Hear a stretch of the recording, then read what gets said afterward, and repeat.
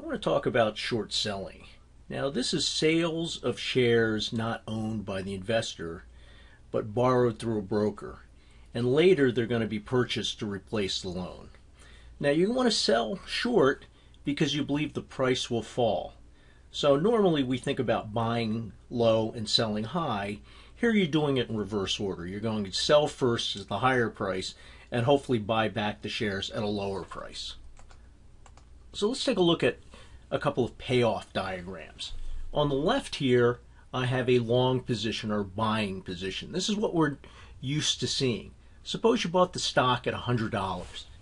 If it went up to 110, you'd make a $10 profit. Okay, I'm ignoring things like transactions costs. On the other hand, if the price of the stock fell to $80 a share, you'd lose $20. And the worst that can happen here, if it's a cash purchase, if you haven't purchased on margin, is you lose $100 a share, right? The shares go to zero, you lose 100 bucks. Now, short selling is the mirror image, essentially, of this. If you sell short at $100 a share, if the price goes up to 110, now you've sold it at 100 and you're buying it back at 110, so you lose $10. Of course, if the price falls to 80, you've sold it at 100, you buy it back at 80, and you make a $20 profit. Now, the interesting things here are that in the case of the long position or the buy position, the worst that happens is you can lose 100 bucks. And there's no limit. That's why I have an arrow here. There's no limit to how much money you can make because theoretically the price of the stock could go to anything, right? It could go to, well, Berkshire Hathaway stock sells for, um, as of this recording, over $400,000 a share. Now, on the flip side here with the short position, the most you can make is 100. You've sold it at 100 and the best that can happen is the price falls to zero, so essentially you buy it back for zero and you make 100 bucks. But there's no limit to how much money you could lose. So you sold it at 100 if it went to 10,000 a share, right? You'd lose an awful lot of money.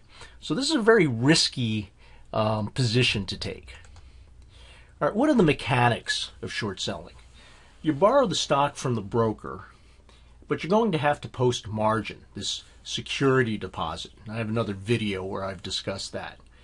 The broker sells the stock and deposits the proceeds from the sale as well as the margin into a margin account. And you cannot withdraw the proceeds until you cover the position. That is, until you close out the position. And you close out the position by buying back the stock what the broker does is returns the title to the party from which it was borrowed, and then now you've closed out your position. In terms of margin, the required initial margin is usually 50%. Um, it's actually more for low price stocks. And in the case of a short sale, you're going to be liable for any cash flows. So if you borrow someone's shares of stock and the um, company issues a dividend, you must um, pay for that dividend that the person is losing because essentially they don't own the stock. Um, there used to be a zero tick and an uptick rule. That is, you could not sell short if unless the price, the last price, was up. It was meant to keep people from forcing the price of the stock to go down and down and down by selling it and selling it and selling it. Okay, but this was eliminated in July of 2007. All right, let's take a look at, at the margin positions on a short sale. So let's consider um, short selling 100 shares of stock at $50 per share.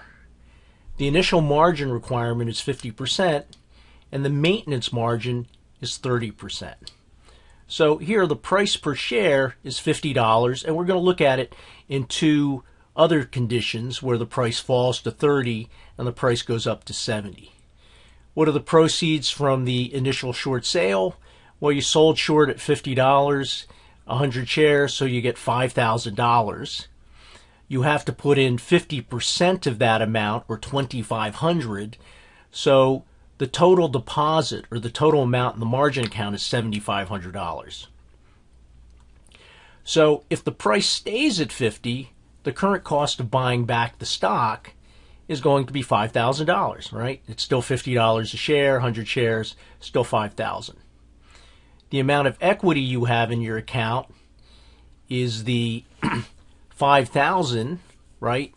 And you take your actual margin and you take the um, the equity here of 2,500 and divide it by the price of buying this back. 2,500 divided by 5,000 is 50%. So you're okay. All right. If the if the maintenance margin is 30%, you're well above that maintenance margin. No problem. No margin call. Suppose the price falls to $30 a share. Okay. You still have $7,500 deposited with the broker. It only costs 3000 to buy back the stock and you have $4,500 in equity in the account, right? The uh, amount that's deposited minus the cost of buying back the shares, 4,500. So if you take 4,500 and divide it by 3,000, you have 150% um, margin. So you're good, right? No, no margin call.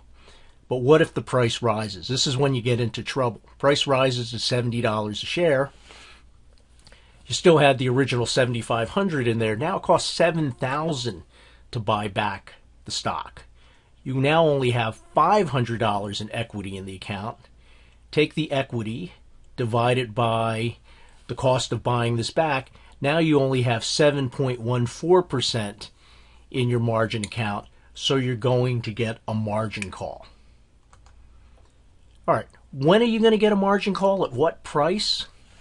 Well, when the equity is less than or equal to 30% of the market value. So, how do we figure this out? The market value equals the um, 7,500 tw- total margin account divided by 1 plus the 0.30 or the 30% uh, maintenance margin value. So that's $5,769 divided by 100 shares. So when the price rises above 57.69, you're going to get a margin call. All right, so just to wrap this up, let's just compare buying shares with short selling. All right, if you buy shares, your initial cash flow is negative, right? You put up money to buy the shares. Um, in the next time period, you may receive a dividend. So the assumption is you receive a dividend and you sell the shares.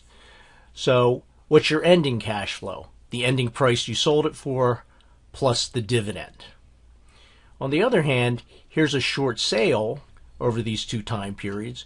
You borrow the shares and you sell it, so you have a positive cash flow. You're receiving money for the short sale in time period one, you have to repay any dividend and you have to buy back uh, the shares to replace the original ones you borrowed.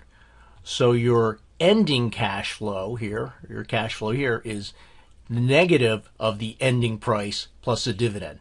Notice that these are exactly the opposite, right? Because this person's buying and this person's selling. So the profit you receive in this case from the short sale is the initial price you sold it for minus the the sum of the ending price plus the dividend. Up here, the profit, if you purchase the stock, is the ending price plus the dividend minus the initial price. All right, and a negative number implies that you have a cash outflow here. So you can see you're kind of doing the opposite. Normally, you make money by buying low and selling high. But if you believe that the price is too high and that it's going to fall, then you may want to sell first and buy it back at a later time period, right? People did this um, during the housing crisis and people sold short. There was a, a movie from the Michael Lewis book, The Big Short. Um, so you you find that people take advantage of this. There's ways to make money whether you think price is going up or price is going down.